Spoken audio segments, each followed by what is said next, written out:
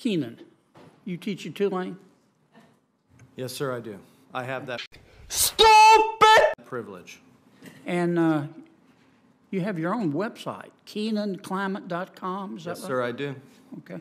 You disgust me. How can you live with yourself?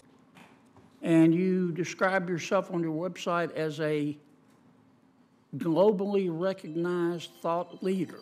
Is that correct? That actually was pretty funny. Yes, sir. Okay. And um, you give paid speeches, do you? Lucky for you, my word don't mean squat. On occasion, I do. You have your own agent, I believe, according to your website, Leigh Bureau. This is correct.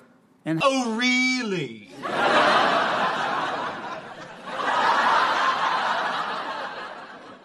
Me wow.